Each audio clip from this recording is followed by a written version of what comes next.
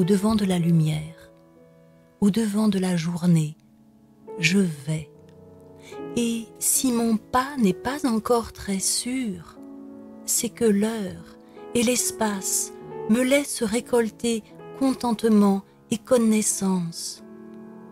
Le buis m'attire, et je resterai là, sentant à peine le matin se transformer, si le merle, tout près, ne venait me parler d'une lointaine eau noire et froide quelque part, et je regarde alors à mes pieds la rosée tout autre qui entend.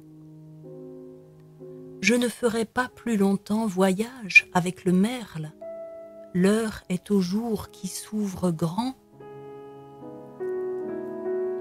Quelques fleurs du volubilis prennent l'azur comme il se donne, si d'autres attardés d'un acacia géant le voudraient plus prudent. Le lierre, lui, s'acharne à demeurer secret.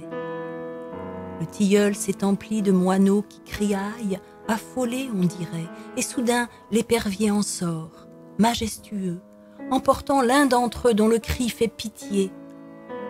C'est le même épervier qui planait ces jours-ci sur le champ d'à côté. L'orgue est partout. C'est le grand orgue qu'on entend moins qu'on ne devine. Chant d'orgue sur les branches, sur le mur, chant d'orgue sur les buis, sur quelques roses, chant d'orgue sur les toits, chant d'orgue sur les prés, chant de l'orgue sur l'horizon. Les papillons sont souffle d'orgue dans l'aigu, les cyprès n'ont jamais été plus recueillis. C'est que l'instant se donne quand le jour est donné.